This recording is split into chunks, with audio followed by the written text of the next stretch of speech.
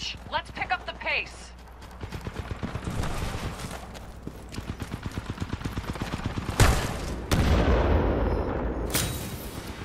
Glad you're working for me, pilot.